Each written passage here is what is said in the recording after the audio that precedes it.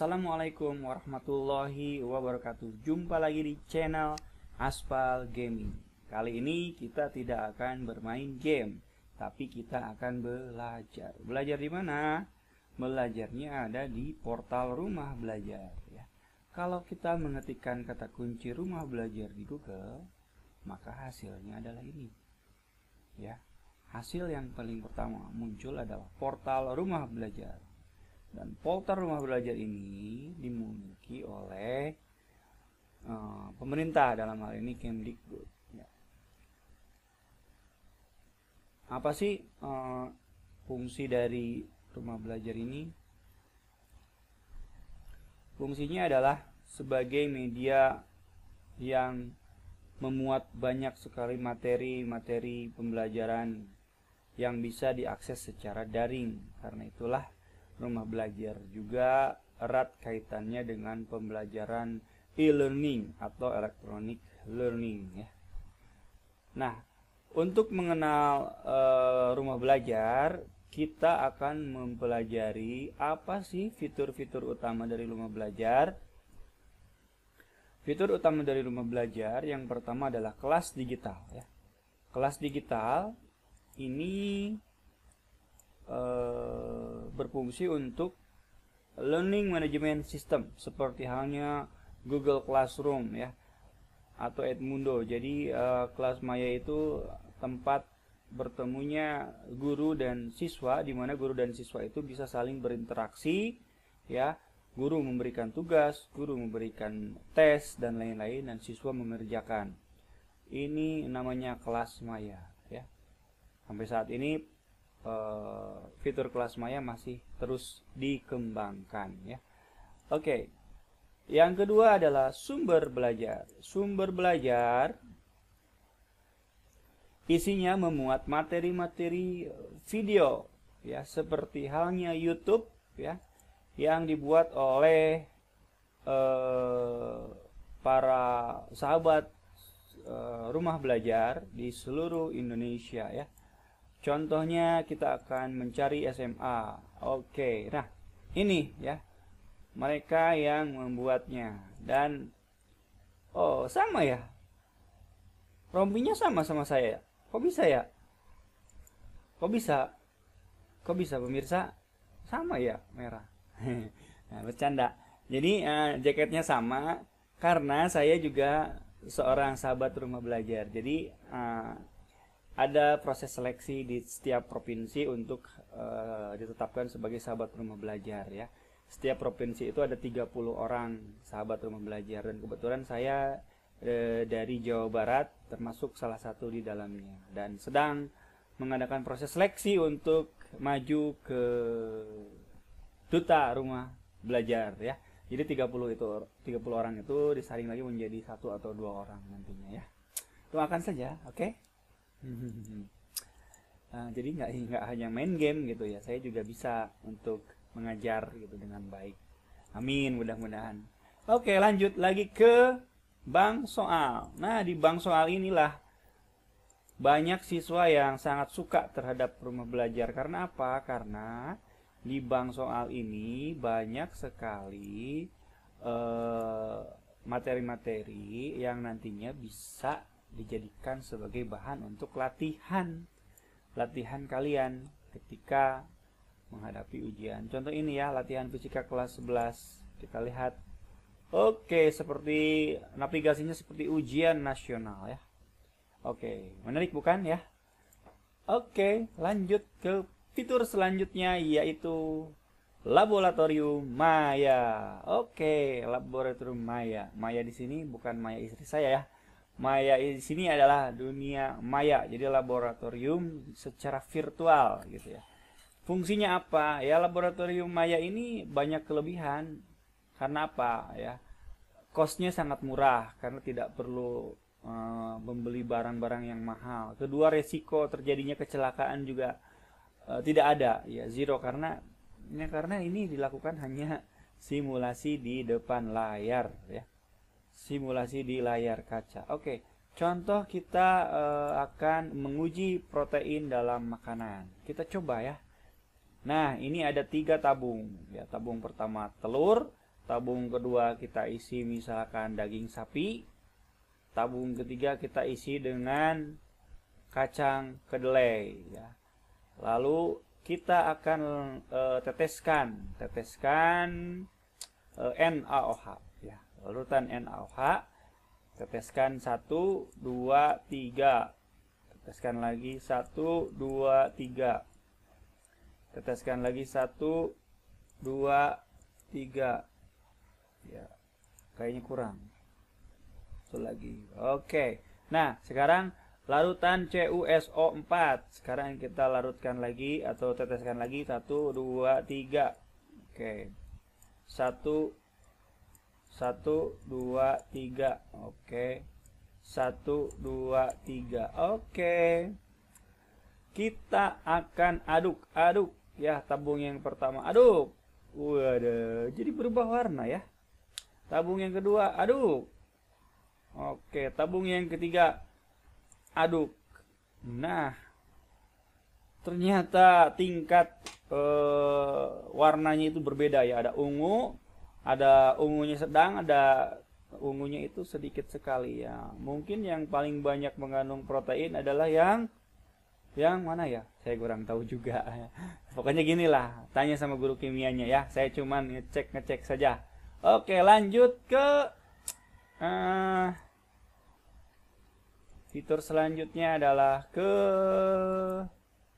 laboratorium maya sudah, Bang Soal sudah, BSE, BSE ini gudangnya buku dalam bentuk PDF ya. Oke lah gampang itu tinggal dilihat, di download gitu ya. Yang walaupun buku ini buku misalkan terbitan yang kurikulum 2006 gitu ya tapi bukan berarti buku itu tidak tidak bagus ya kayak yang namanya ilmu sama saja jadi eh, jangan menganggap bahwa buku kurtilas buku rep kurtilas revisi itu yang yang dewanya gitu enggak kalau belajar itu dari mana saja gitu ya uh, yang jelas eh, buku-buku uh, itu uh, akan menambah referensi kalian dalam dalam belajar. Oke. Okay. uh, modul digital. Nah kalau modul digital ini mirip dengan BSE cuman kalau modul modul ini e, sifatnya adalah cerita ya. Kalau BSE itu buku pelajaran kalau modul ini berbentuk cerita ya.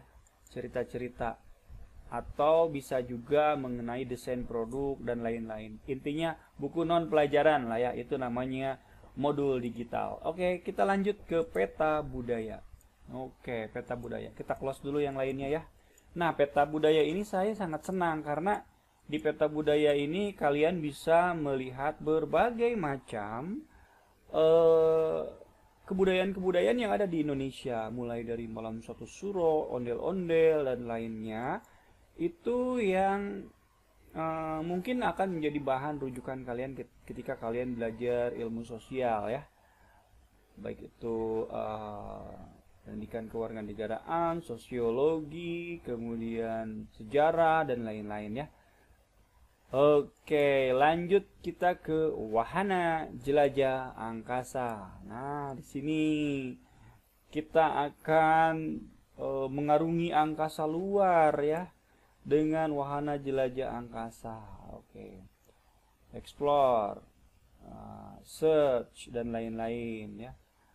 Astroglas, astrofotografi, radio study, Noah study Gemini study ya kita coba yang mana ya oh ya Wise oke ini Andromeda galaksi kita akan melihat galaksi Andromeda seperti apa ya oh ini namanya galaksi Andromeda ya oh Andromeda galaksi tuh tuh tuh tuh tuh tuh wih keren ya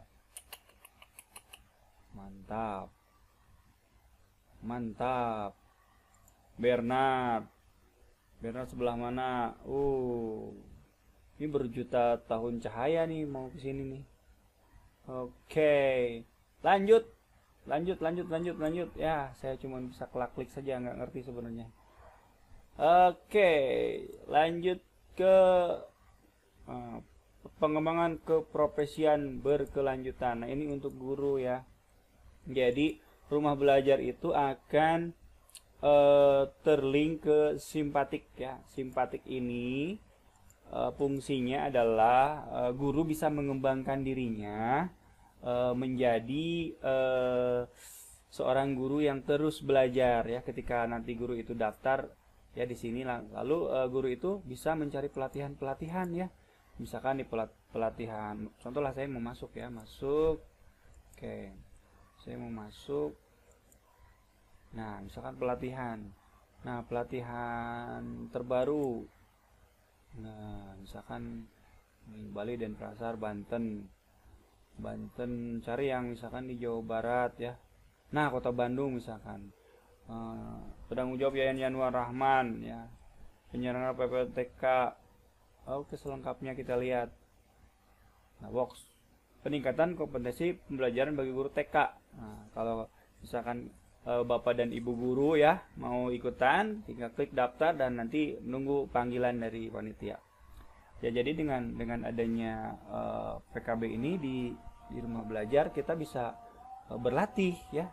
Berlatih dan saya sendiri bisa mengenakan rompi merah ini awalnya register di simpatik ini gitu. Ikutan eh, seleksi duta rumah belajar level 1 ada 2000 orang di Jawa Barat kemudian eh, lolos ke level 2 900 orangan lalu lolos ke level 3 ya. Itu semuanya dari simpatik.belajar.kemdikbud.go.id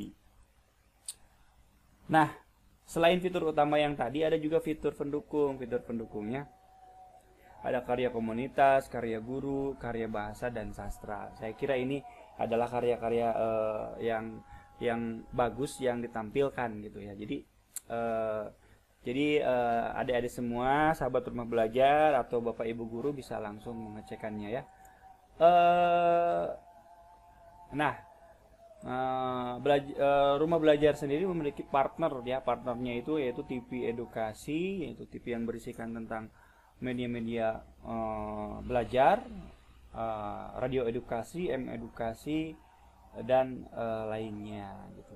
Itu saja mungkin uh, sekelumit atau sekilas tentang rumah belajar ya. Yang pasti silahkan register di rumah belajar bagi kalian uh, siswa-siswi di seluruh Indonesia silahkan register di sini karena ini adalah layanan yang benar-benar gratis gitu, gratis dan insya Allah mudah-mudahan doakan saya juga ikut akan mejeng ya uh, saya juga nanti akan uh, di-upload video saya di uh, sumber belajar. Mudah-mudahan di-approve kalau tidak ada masalah atau tidak ada pelanggaran terhadap kontennya, ciptanya gitu. Karena biasanya kalau kalau kita membuat konten pembelajaran tapi masih ada masalah, itu tidak akan di-upload oleh oleh uh, admin rumah belajarnya gitu ya. Oke, itu saja uh, para pemirsa sekalian. Uh, tentang rumah belajar saya juga mohon doa restu mohon mohon doanya semoga saya bisa lolos ke uh, pembatik level 4 jadi bagi semua pemirsa murid-murid saya terutama tolong dukung saya dengan cara register kalian di rumah belajar ya. Murid-murid saya di SMA Negeri 2 Depok tolong kalian register di rumah belajar dan di kelas maya. Lalu nanti uh, akun dan uh, eh, ID-nya, ID username-nya, lalu setorkan ke ketua kelas. Karena itu akan membantu saya uh, untuk uh, terus uh, melakukan uh, perekrutan uh, bagi siapa saja yang berminat untuk uh, masuk ke dalam rumah belajar gitu ya. Oke, sampai ketemu di video-video selanjutnya dan wassalamualaikum warahmatullahi wabarakatuh.